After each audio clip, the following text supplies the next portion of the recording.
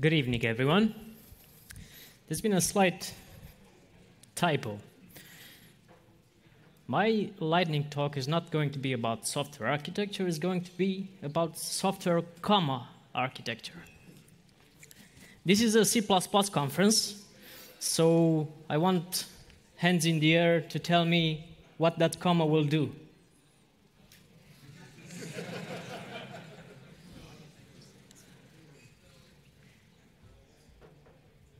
We are left with architecture because the left side is evaluated and discarded as a result. I took this, this picture uh, last September, this September actually, in Seattle after CppCon, and I was inspired by the architecture of that beautiful city.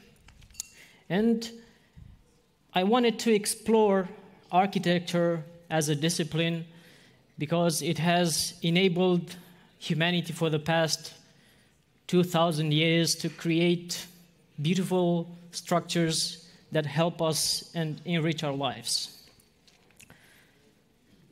So, architecture, it's all about structures. It, it's the process of creating, and it's the result of planning, designing, and constructing structures. But not all structures are equal. We have good architecture, and how would we define that? Well, I put out to you that good architecture is the result of useful structures.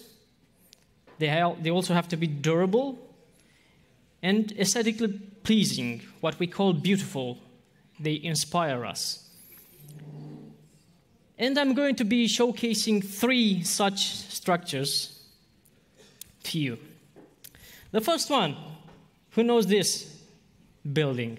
It's an iconic building, one of 20th century's uh, most known ones. It has defined, redefined architecture. It's the Sydney Opera House. It's a beautiful venue where millions of people go every year. It was one of the first buildings to use computer aided design.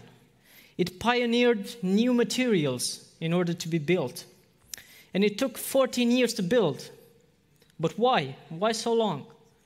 Because it was riddled with cost and scheduling overruns.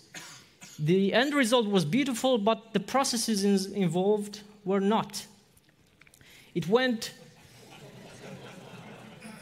a little bit over budget, and the main architect resigned. Yet, a beautiful building. Let's look at another one. This is a recent one in Las Vegas. Does anyone uh, recognize this? It opened in 2009 in Las Vegas and has a gorgeous pool outside where people can relax, enjoy the sun, and have a nice, refreshing bath in the summer. But a problem the death ray. Because of its concave shape, the sun got reflected directly into the pool. And the summer was a bit too hot for the people. It was called the solar convergence problem. Extreme heat reported a year later, and workarounds were taken. Then, the same architect, a few years in London, the, the walkie talkie building, because of its shape, surely the problem was solved by then. Four years later, 200 million pounds. Again, the sun. It was 90 degrees Celsius, enough to cook an egg on the sidewalk. It was then redubbed the Walkie Scorchie. And it was awarded the 2015 uh, prize for being the worst new building in the new UK for the past year. Praise all over the place. It's a challenge finding something positive about that building. A daily reminder that such a planning disaster should never happen again.